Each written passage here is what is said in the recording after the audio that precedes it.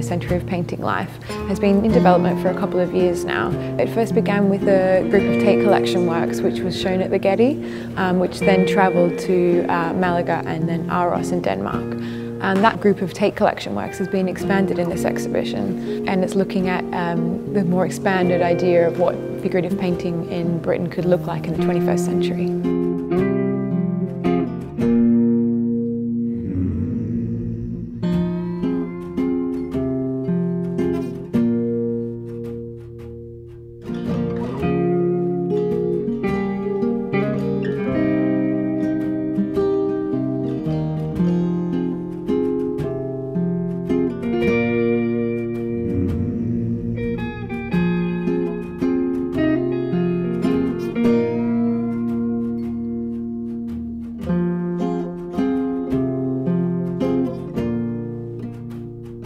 Exhibition really starts with uh, Bacon and Freud and the sort of circle around the latter part of the 20th century, but at the same time the exhibition looks forward and backward. So it looks at some of the, the subject matter and the style of painting of uh, Bacon, Freud, uh, Auerbach, Kitaj, Andrews, but it looks at the sort of precursors to that period. So introducing sort of viewers who might know that work to works by Sickert or Soutine, and then also uh, the sort of latter younger generation, I suppose, of, of artists who are still working with the figure in London. For somebody who doesn't know British art particularly well, this exhibition will not only introduce them to uh, new works they might not have seen before by key figures like Bacon and Freud, it'll also expand their idea about what British art is, I hope, looking at British figurative art from the whole 20th century. I also think there's lots of different types of painting in this show. Interestingly, about half of the artists in this exhibition weren't actually born in the UK. Um, in the post-war period, artists like Freud or Auerbach, for example, they were fleeing Nazi Germany and they arrived in London as refugees. So this sort of um, London as a cosmopolitan city reverberates throughout the whole exhibition. Uh, we've got artists like also Souza, who came from first in Goa and then Mumbai, but that sort of post-war um, migration is is felt throughout the whole exhibition. So I think hopefully we're sort of subtly questioning what Britishness is. The dialogues that have occurred between particularly artists from uh, immigrant and refugee backgrounds over the 20th century has, I think, changed the way that we look at British art.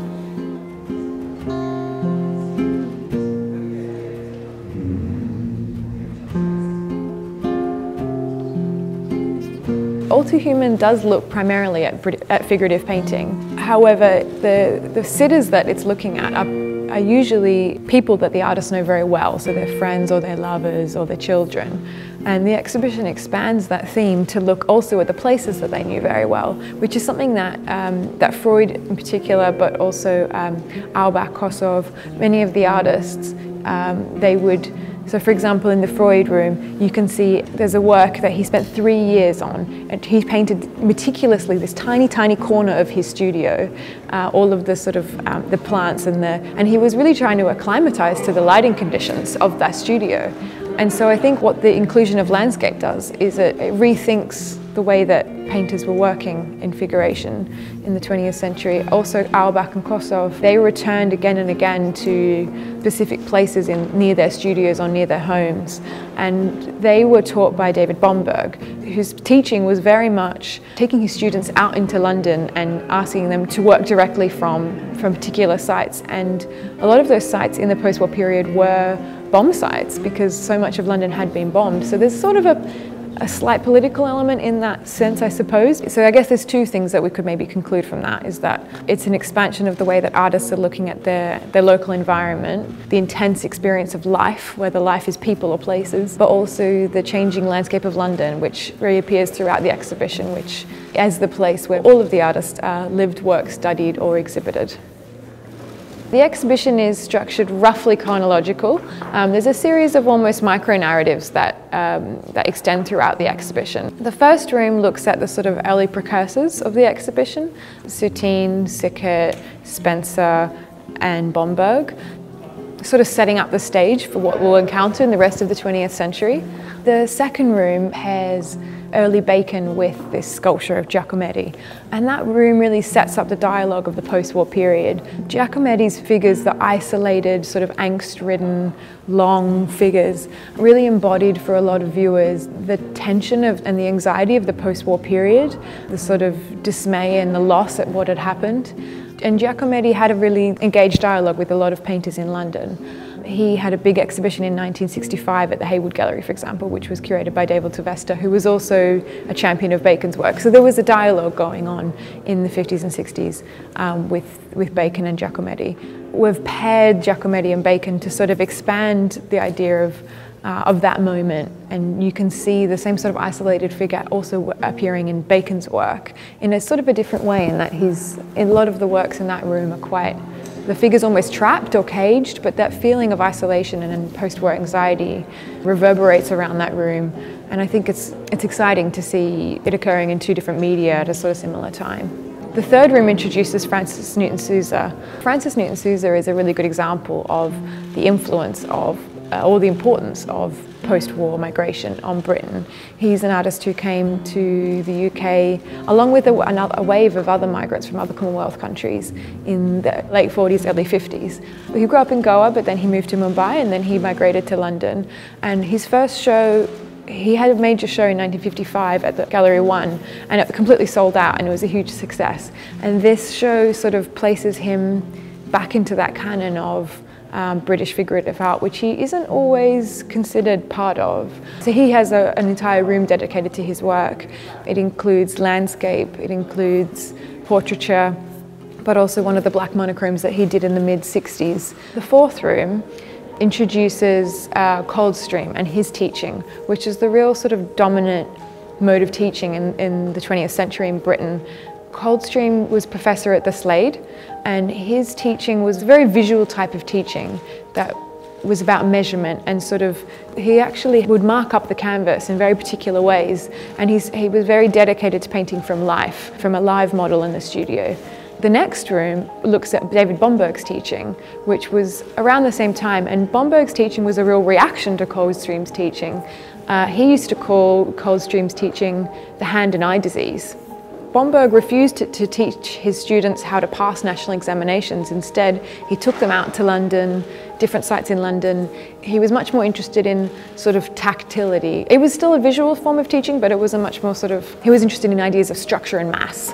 That room then extends into a more expanded look at uh, two of his students, um, back in Kossoff, the work that they produced after they were taught by Bomberg and their real interest in particular sites in London, places they knew very, very well. The exhibition then moves into a double module of Freud from his work from the 1960s onwards when he moved from using very, very fine brushes and making very detailed work to using larger brushes and looser brush strokes. And, that, and he also started um, painting nudes a lot more. There's a big room with lots of different types of sizes of works. The sort of the work that he's, I suppose, quite well known for, the very fleshy sort of painting. Then we move into, oh, the room we're in now, the, the um, late Bacon room, which looks at Francis Bacon's uh, work from the 60s and 70s and their relationship to John, particularly John Deakin's photography, whom he commissioned. Uh, it was sort of, it felt sort of impossible to contain Bacon within one room, and uh, we could have had three easily, but we just uh, decided to have two. And this second room is dedicated to his mature work from the early 60s to late 70s, and particularly this grouping in portraits. Portraiture becomes hugely important for Bacon at this moment.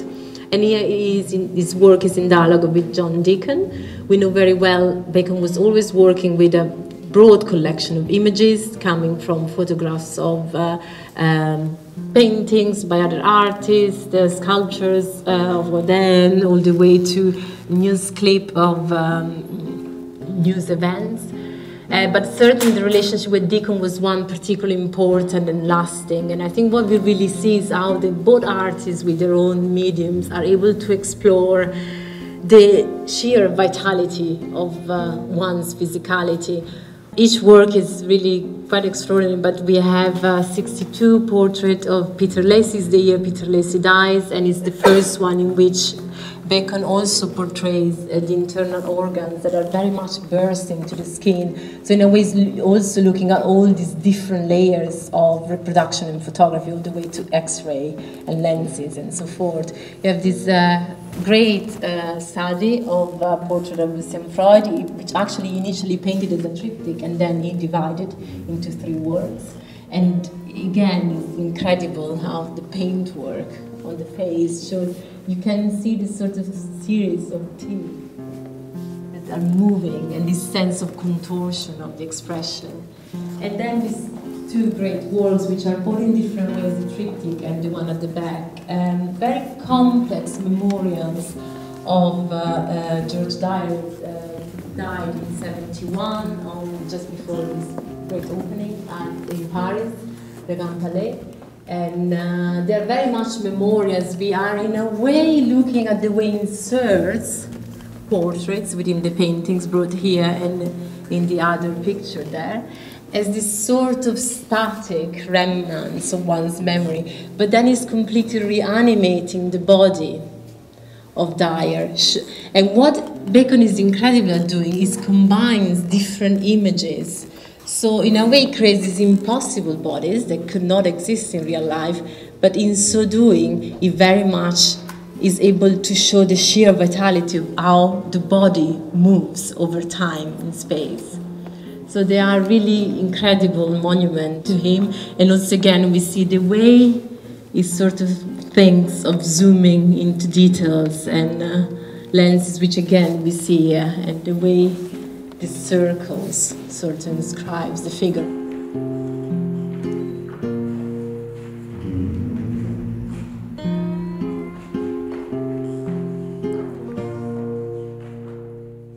This room sort of introduces the idea that uh, of working from photographs rather than working from life, um, which is very influential to uh, Michael Andrews and R.B. Kitaj, whose work is shown in the next room.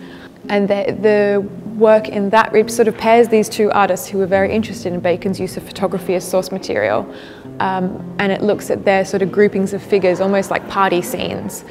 So there's works like the Colony Room, but also um, looking at uh, sites in other sites in London, um, like Kitaj's wedding, for example, but also the um, Cecil Court, uh, which is where a lot of Jewish refugee booksellers used to used to be. And then we go into the Paula Rego room, which is a monographic room by the artist Paula Rego, um, who centers women's stories. And she also, so she strikes a quite interesting dialectic between um, the autobiography but also fables and fiction.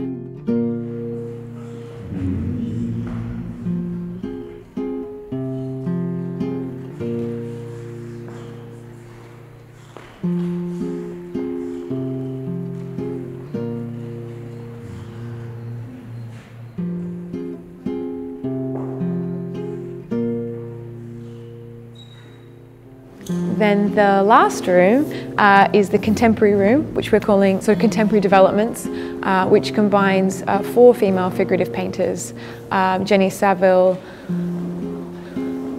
Cecily Brown, Celia Paul, and Lynette Yiadom-Boakye, uh, who all look at the figure in, in very different ways, but um, whose work you can sort of see resonances of, of uh, artists throughout the 21st century. Uh, and there's some interest in that work. For example, it's quite interesting that Lynette cites Sickert as an example, and she's the last work that you see, and Sickert is the, one of the first that you see. So it comes full circle.